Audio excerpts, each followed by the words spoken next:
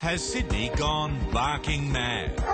Why business is booming for premium dog daycare. We're living in very small back gardens and the dogs still need to run. Luxury spas, five-star retreats, Pilates, It's all about increasing the core strength. even pet psychics. They're communicating with animals telepathically. Nine News tomorrow at 6.